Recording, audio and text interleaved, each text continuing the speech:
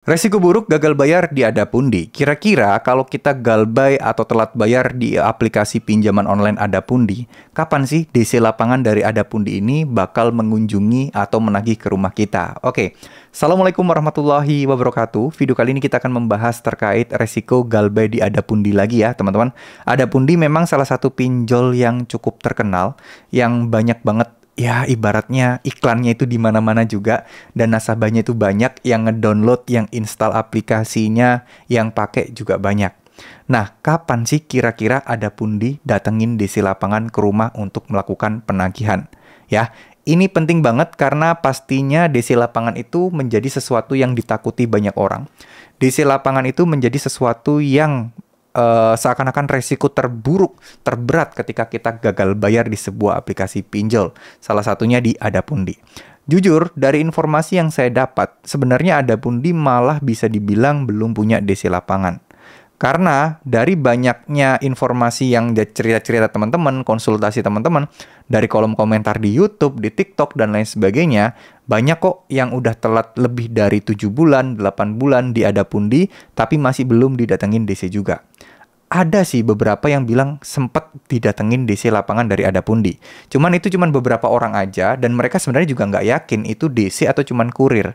Karena ya cuman mengantarkan surat penagihan, detil-detil surat resmi lah dari perusahaan Adapundinya itu. Tapi nggak berkata-kata yang lain-lain, nggak ada uh, tindakan effort yang gimana-gimana untuk membuat kita bayar, ya cuman ngasih, ngingetin, dan nanya kapan bisa bayar. Udah sebatas gitu aja.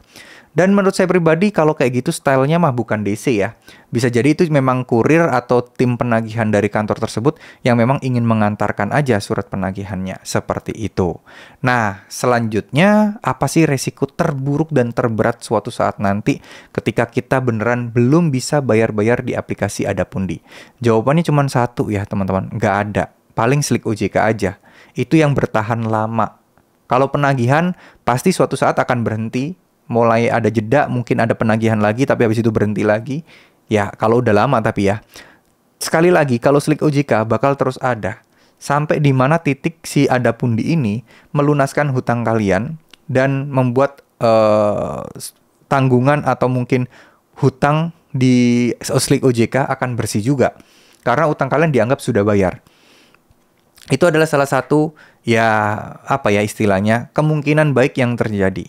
Tapi sekali lagi saya pengen mengingatkan nggak usah terbawa suasana, nggak usah terlalu dipikirin, nggak usah dibikin gelisah. Karena apa?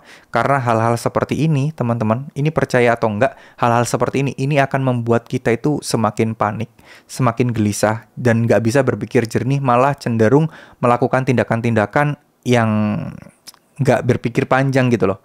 Jadi jangan sampai kali lubang tutup lubang, jangan sampai melakukan tindakan kriminal apa pun hanya demi untuk bebas dari ada pundi. Ingat, nggak usah takut mau suatu saat nanti mereka ada di si lapangan, nggak usah takut. Ya, tetap tenang, insya Allah semuanya baik-baik saja. Jangan lupa doanya, ibadahnya, ibadahnya dikencengin, selalu berdoa, selalu niatkan yang baik-baik. Insya Allah pasti akan ada jalan. Terima kasih, semoga apa yang saya sampaikan bisa bermanfaat. Wassalamualaikum warahmatullahi wabarakatuh.